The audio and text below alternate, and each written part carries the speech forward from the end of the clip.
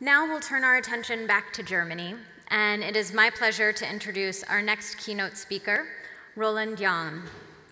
Mr. Jahn will offer his remarks in German, so if you have not yet gotten a headset with the simultaneous English translation, please raise your hand and someone will make sure you have one. Roland Jahn is the Federal Commissioner for the Stasi Records and heads the Stasi Archives. Born in 1953 in East Germany, he became a co founder of the oppositional peace community in Jena that protested against the lack of freedom of speech and the increasing militarization of the GDR. In 1983, he was expelled from the country of his birth against his will and thrown onto a train to West Germany. In West Berlin, he maintained contact with the GDR opposition and set up an informal information network between East and West.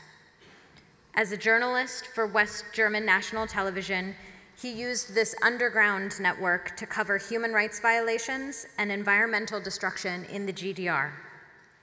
After 1989, he continued to work as an editor with a focus on the effects of the East German dictatorship on United Germany. He was appointed the Federal Commissioner for the Stasi records in 2011 by the German Bundestag and was confirmed for a second five year term in 2016. Please join me in giving a warm welcome to Mr. Jan. Sehr geehrte Damen und Herren, entschuldigen Sie bitte, dass ich in Deutsch spreche, aber in der Deutschen Demokratischen Republik wurde nicht so viel Wert auf die Sprache Englisch gelegt, sondern wir haben in der Schule Russisch gelernt. Russisch, also sagen, als Teil des kommunistischen Systems, war auch eine Botschaft, der wir uns auch verweigert haben.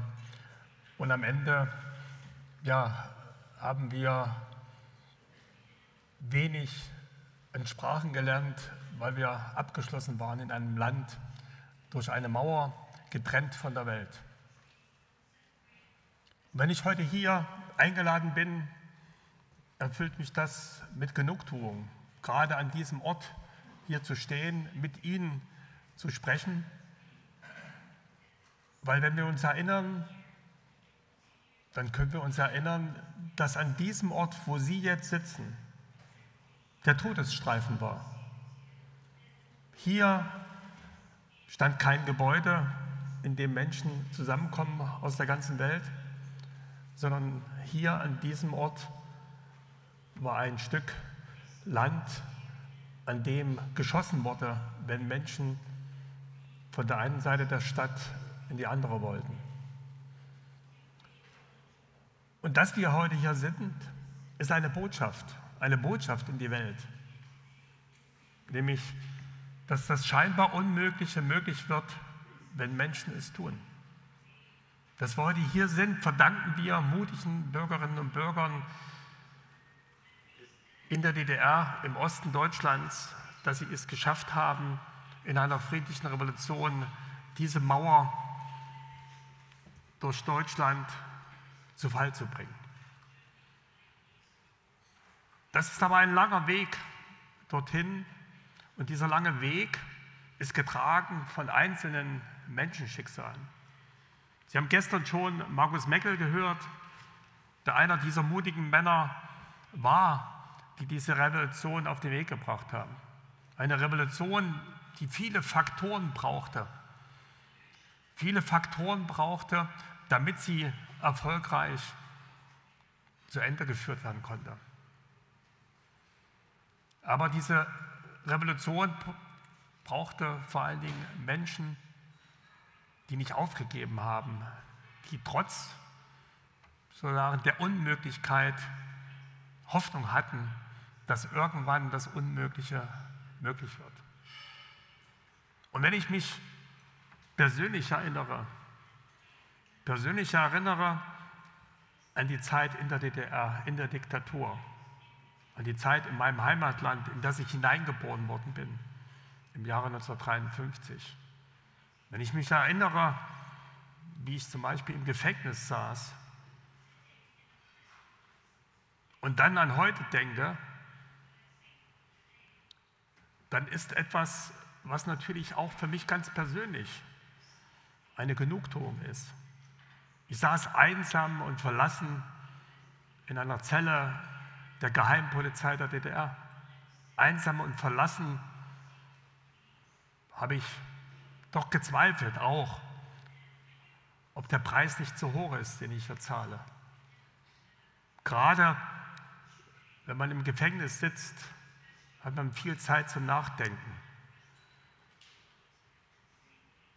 Wenn der Stasi-Vernehmer, der Stasi-Offizier der Geheimpolizei die Fotos der dreijährigen Tochter mitbringt und sie mir zeigt, das ist etwas, woran ich mich noch ganz genau erinnere.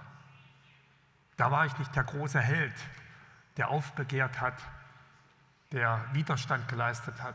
In so einem Moment ist man klein und schwach und fragt sich, ob der Preis nicht so hoch ist. Die Welt zu retten und nicht da zu sein für die Menschen, die einen brauchen. Und diese Frage, hat man genug Kraft in solchen Situationen? Hat man genug Mut, dagegen zu halten? Diese Frage ist immer nur individuell beantwortbar. Ich weiß gar nicht, wie ich es, es geschafft habe, diese Situation zu überstehen. Ich glaube, gerade weil ich an meine Tochter gedacht habe, gerade weil ich gedacht habe, dass sie mal in einer Welt leben soll, wo sie frei und selbstbestimmt sein kann. Gerade deswegen konnte ich dieser Staatsmacht in dieser Situation widerstehen, obwohl ich eigentlich am Boden war. Und das ist etwas, wo ich mit dem Blick zurück, mit dem Blick zurück auch an das Leid, was viele Menschen erlebt haben, genau daraus Kraft schöpfe. Dass wir heute hier sitzen können, ist etwas, was ein Signal in die Welt ist. Dass ich aber jetzt sozusagen nicht mehr im Gefängnis sitze, dass meine Tochter ein freies Leben führen kann, das ist etwas, was ich konkret als einzelner Mensch erlebt habe, so wie viele, viele andere Menschen. Und es ist ganz besonders von Bedeutung für mich auch persönlich, aber auch ein Signal in diese Gesellschaft hinein, dass jemand, der in einem Gefängnis der Geheimpolizei gesessen hat, heute die Akten, die Dokumente des Unrechts verwalten darf, dass er diese Akten der Gesellschaft zugänglich machen kann. Dass ich gewählt worden bin vom Deutschen Bundestag als Bundesbeauftragter für die Stasi-Unterlagen, auch das ist ein Signal. Und für uns, die der Repression der Geheimpolizei ausgesetzt waren, war es ein Bedürfnis, dass die friedliche Revolution nicht nur die Mauer zum Einsturz gebracht hat, sondern dass diese friedliche Revolution auch eins gemacht hat, was erstmalig in der Welt war, nämlich dass die Akten einer Geheimpolizei gesichert worden sind und der Gesellschaft zur Verfügung gestellt worden sind. Das war die große Chance. Und es war schon die Besetzung dieser Stasi-Dienststellen eine Botschaft. Ich war auch persönlich dabei, als die Zentrale hier in Berlin-Lichtenberg gestürmt worden ist von tausenden Demonstranten. Das war nicht einfach, weil die Geheimpolizei war noch bewaffnet. Man wusste nicht, was geschehen wird. Man wusste nicht, ob es Gewalt gibt gegen die Demonstranten. Aber der Elan der Menschen hatte ein klares Ziel, diese Dokumente des Unrechts zu sichern, um aufzuklären über das geschehene Unrecht, über Ursachen und Folgen des Unrechts und vor allen Dingen den Menschen, die gelitten haben, Wiedergutmachung zu geben. Und ich glaube, daraus kann man etwas ableiten, dass man aus dem Leid der Vergangenheit Kraft schöpft für die Gegenwart. Ich persönlich habe die Erfahrung gemacht, dass jeder Tag im Gefängnis zu viel war. Aber diese Erfahrung möchte ich nicht missen, weil ich weiß, auch aus einer ausweglosen Situation, einer scheinbar ausweglosen Situation, kann man es schaffen, wieder rauszukommen. Weil ich weiß, dass die Zeiten sich geändert haben. Wir haben diese, dieses Wirken der Geheimpolizei beendet. Wir haben es geschafft, auch die Akten zu sichern und zugänglich zu machen. Und gerade durch die Aufklärung mit Hilfe dieser Hinterlassenschaft der Akten können wir etwas leisten, dass wir verstehen, warum die äh, Diktatur so lange funktioniert hat. Die vielen Geschichten in den Akten, die auch deutlich machen, wie diese Mechanismen eines Systems der Angst funktioniert haben. Ich möchte Ihnen eine Geschichte erzählen aus meinem ganz persönlichen Alltag in meiner Heimatstadt Jena, die ich an der Universität erlebt habe. Ich habe meine Meinung in einem Seminar geäußert, eine kritische Meinung zu diesem Staat. Daraufhin hat die Universitätsleitung gesagt, dass es fragwürdig ist, ob ich weiter studieren darf. Man hat natürlich deutlich machen wollen, dass es eine demokratische Entscheidung geben soll. Die Seminargruppe sollte über mich abstimmen. Das war natürlich für mich eine Freude, weil die Seminargruppe, das waren meine Freunde. Das waren diejenigen, mit denen ich nicht nur studiert habe, sondern mit denen ich auch gefeiert habe, mit denen man zusammen die Freizeit verbracht hat. Sie klopften mir auf die Schulter und sagen, wir stehen zu dir. Das war mein Glück. Es kam zur Abstimmung. 13 zu 1 gegen mich. Ein Schock. Meine Freunde hatten mich verraten. Ich habe lange darunter gelitten, unter diesem Verrat. Nach dem Ende der DDR konnte ich in die Akten der Stadtsicherheit sehen. Und ich konnte sehen, wie die Geheimpolizei jeden einzelnen meiner Freunde, meiner Kommilitonen unter Druck gesetzt hat, wie sie ihnen Angst gemacht hat, was ihre eigene Zukunft betrifft. Und nicht nur das, sondern wie sie ihnen Angst gemacht hat, dass auch die Familie der Kommilitonen zur Rechenschaft gezogen werden. Und als ich das gelesen habe und dann auch mit einzelnen Kommilitonen gesprochen habe, habe ich begriffen, dass es nicht so einfach war, sich zu entscheiden. Entscheide ich mich für meinen Freund oder für meine Eltern? Eine unlösbare Frage. Und heute denke ich manchmal, dass es auch mir gar nicht so einfach gewesen wäre, wenn ich in deren Situation gewesen wäre. Wie hätte ich mich entschieden? Und genau das ist dieses System der Angst gewesen in der Diktatur. Ein System der Angst, was Menschen zur Entscheidung gebracht hat, die sie vielleicht gar nicht wollten. Das System der Angst, was dafür gesorgt hat, dass Menschen sich angepasst haben, untergeordnet haben und dann in ihrem Handeln nicht mehr frei waren. Das ist etwas, wo wir auch heute in die Gegenwart schauen können, wenn wir nach Russland schauen, wenn wir in die Türkei schauen. Wie funktioniert zum Beispiel eine Volksabstimmung in der Türkei? Wenn wir Ergebnisse haben, dass Erdogan sozusagen in der Volksabstimmung gewinnt. Wenn wir dann in die Akten der Stadtsicherheit schauen, wenn wir dann analysieren, wie waren die Volksabstimmungen in der DDR und dann sehen, dass im Jahre 1968 in einer Volksabstimmung die führende Rolle der kommunistischen Partei festgeschrieben worden ist.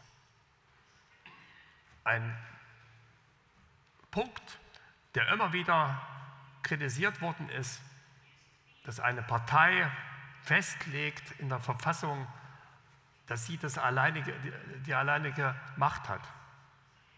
Man hat immer darauf verwiesen, es sei Volkes Wille. Wenn man dann aber in den Akten der Geheimpolizei genau nachliest, wie dieses System der Angst auch gerade bei dieser Volksabstimmung gewirkt hat, wenn man genau sieht, wie die einzelnen Menschen unter Druck gesetzt worden sind, in den Betrieben, in den Universitäten, in den Schulen, in der ganzen Gesellschaft, wurden ganz konkret Maßnahmen angedroht, wenn man gegen diesen äh, Festschreibung der Macht der kommunistischen Partei äh, stimmt. Und so kann man dann nachvollziehen, wenn heutzutage in Autokratien, manche sagen auch in Diktaturen, Wahlergebnisse zustande kommen, die die Herrscher bestätigen. So kann man dann nachvollziehen, wie ein System der Angst funktioniert, wenn man in die Akten der Geheimpolizei der DDR schaut. Und so gibt es viele, viele Beispiele, die immer wieder uns die Sinne schärfen für die Gegenwart, die uns immer wieder klar machen, dass Menschen und ihre Schwächen genutzt werden, um ein System zu etablieren, was die Herrschenden an der Macht hält. Ein anderes Beispiel aus meinem Freundeskreis in meiner Heimatstadt Jena. Einer meiner Freunde, er wollte nach Berlin fahren, nach Berlin fahren, um eine Party zu feiern, eine Geburtstagsparty. Zufällig war an diesem Wochenende der Parteitag der SED, der Staatspartei, der kommunistischen Partei. Und die Devise war ausgegeben, dass alle kritischen Menschen, die im Visier der Geheimpolizei waren, nicht nach Berlin in die Hauptstadt dürfen. Dass diese Hauptstadt reingehalten werden sollte von kritischen Geistern. Und mein Freund war ins Visier geraten, weil ein kleiner inoffizieller Mitarbeiter, ein Spitzel, gemeldet hatte, dass er staatsfeindliche Äußerungen gemacht hat. Diese Meldung an einen sogenannten Führungsoffizier der Geheimpolizei hat der Führungsoffizier bereitwillig notiert, hat sie weitergegeben an den Chef einer Kreisdienststelle der Stadt Jena. All das verbunden mit der Anweisung der Partei, keine äh, Querulanten in die Hauptstadt zu lassen, hat dazu geführt, dass er dann während der Fahrt nach Berlin aus dem Zug geholt wurde. Es waren Transportpolizisten, die ihren Dienst versahen, die gar nicht wussten, warum dieser Mensch aus dem Zug geholt wird. Es waren Transportpolizisten, die einfach einen Befehl ausgeführt haben, die nicht nachgefragt haben, warum das geschieht. Er wurde gebracht in die Haftanstalt der Geheimpolizei in Thüringen nach Gera. Das war die Haftanstalt, die zuständig war für unsere Stadt Jena. Und dort wurde er zwei Tage lang verhört, unter Druck gesetzt, ohne Schlaf und Essen, sagen mit allen Instrumenten einer Geheimpolizei unter Druck gesetzt. Zwei Tage später war er tot. Ein junger Mensch mit 23 Jahren, voller Hoffnung an ein Leben, war am Ende tot. Was wir in den Stasi-Akten sehen, ist, dass viele daran beteiligt waren. Der Spitze, der die Information geliefert hat, dass er ein Staatsfeind sei, der Führungsoffizier, der es weitergemeldet hat, der Leiter der Dienststelle der Geheimpolizei in Jena, die Transportpolizisten, die einfach ihren Befehl erfüllt, äh, erfüllt haben und die Stasi-Offiziere, die im Gefängnis ihn in die Mühle sozusagen des Verhörs genommen haben. Viele waren beteiligt, aber keiner will es gewesen sein, dass er zu Tode kam. Bis heute sind die Umstände seines Todes nicht geklärt. Aber eines wird an den Stasi-Akten deutlich. Es waren viele beteiligt und alle hatten eine individuelle Verantwortung. Und dieses Beispiel zeigt mir, wie wichtig es ist, dass wir das System beschreiben, der individuellen Verantwortung in einer Diktatur. Dass wir genau hinschauen, wo gibt es eine Möglichkeit, dass jemand sagt, da mache ich nicht mit. Meine Studenten an der Universität, genauso wie die Offiziere der Stadtsicherheit, alle hatten die Möglichkeit, Nein zu sagen. Alle hatten die Möglichkeiten, sich zu verweigern. Und da ist die Brücke in die Gegenwart. Da ist die Brücke in die Gegenwart, wo wir sagen können, auch in der heutigen Zeit, auch in den verschiedenen Ländern, auch in einer Demokratie steht die Frage der individuellen Verantwortung. Bis hin in den Alltag an den Schulen, wenn es um Mobbing im Internet geht, wenn es darum geht, ob Menschen verraten werden in einer Gruppe, ob man Einzelne schikaniert, bloß weil es schick ist oder weil man sich über andere hinwegsetzen will.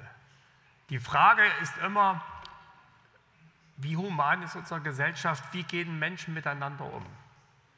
Und der Blick in die Vergangenheit kann uns die Sinne schärfen dafür, was sind die Werte unserer Gesellschaft. Denn es geht am Ende immer um ein angstfreies System, in dem Menschen keine Scheu haben, ihre Menschenrechte wahrzunehmen, in dem sie keine Scheu haben, ihre Meinung zu sagen, in dem sie keine Scheu haben, sich zusammenzuschließen und zu versammeln, indem sie keine Scheu haben, Informationen auszutauschen. Denn das ist, sagen, der Kit der Diktatur. Angst ist der Kit der Diktatur.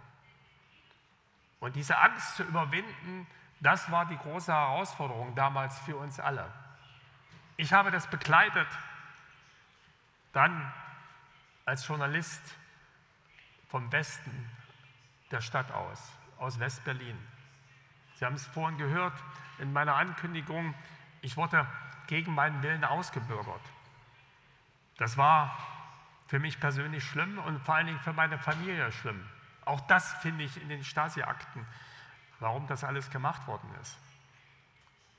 Aber für mich war es dann die Chance, den Menschen in der DDR Mut zu machen, Mut zu machen, dass es auch andere Menschen gibt, die dieses diese Diktatur kritisch sehen.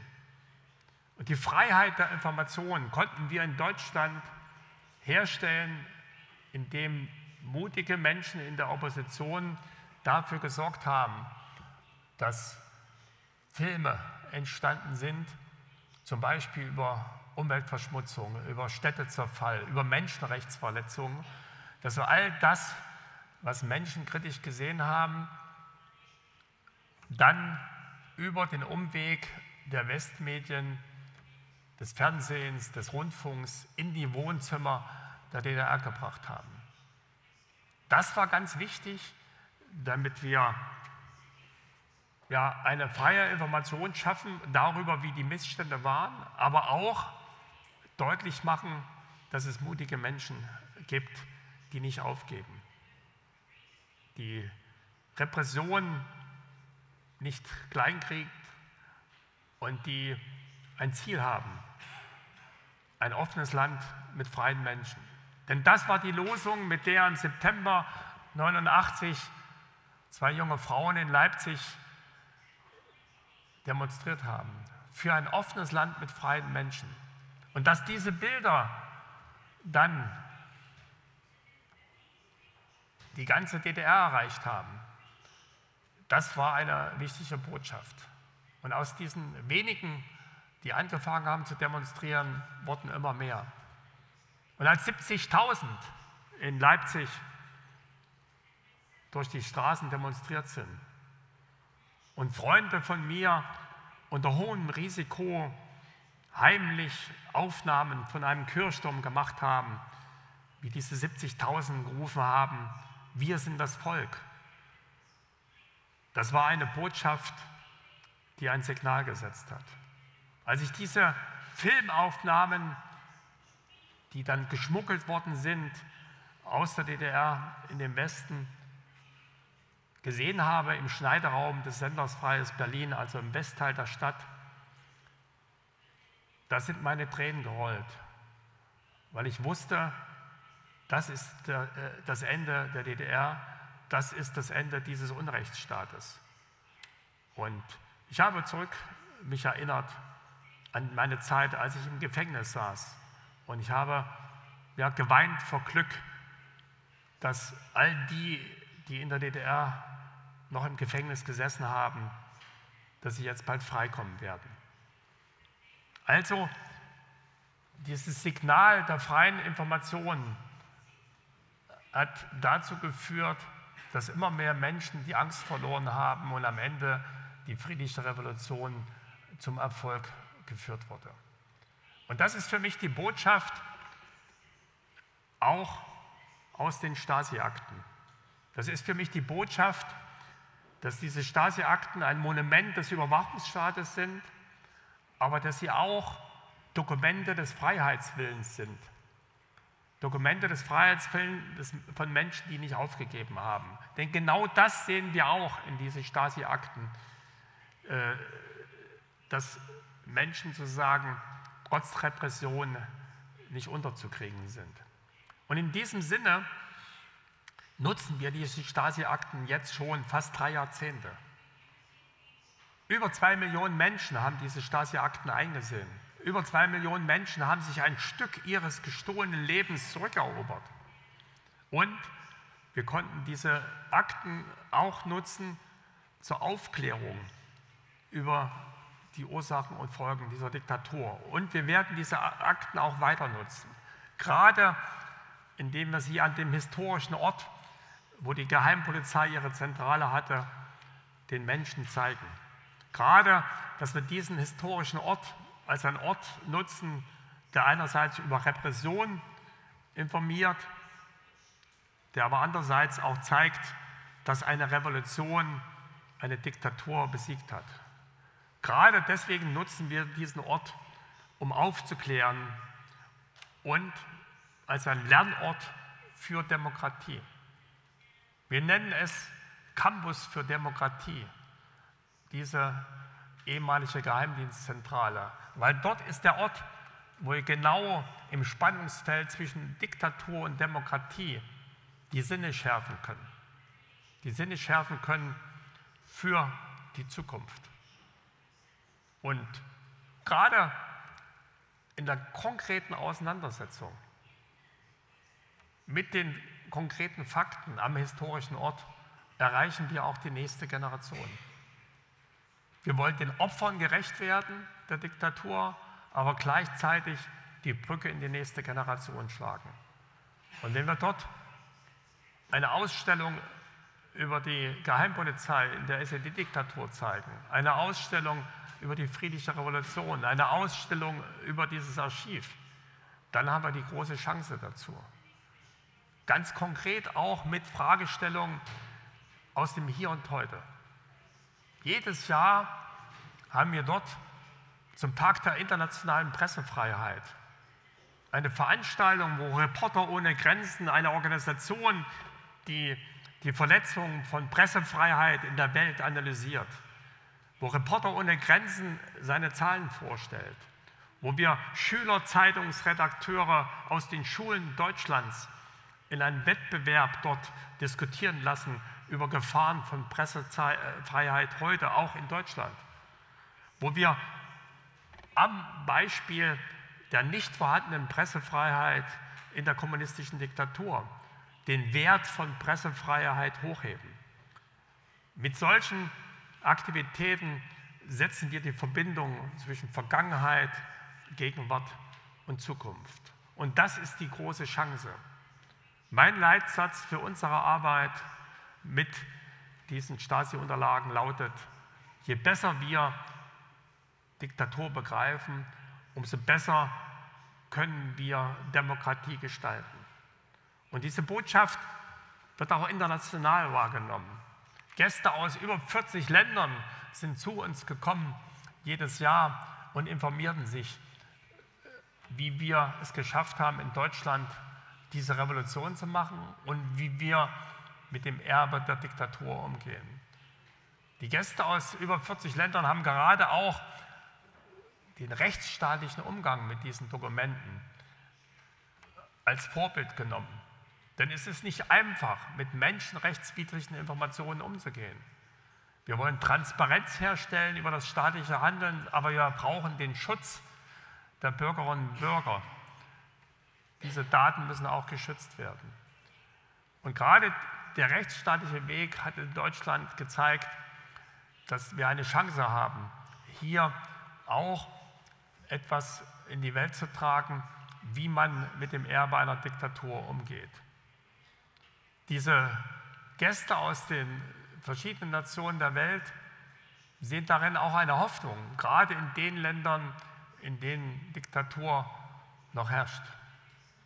Wir haben Gäste aus Ländern, die Diktaturen überwunden haben, Tunesien, Taiwan, aber wir haben auch Gäste aus Weißrussland oder China, die noch hoffen, dass sie eines Tages auch die Akten der Diktatur aufarbeiten können. Und als der türkische Schriftsteller Can Dündar bei uns war, hat er ganz konkret gesagt, eines Tages werden wir auch in der Türkei durch die Archive gehen und diese Akten nutzen.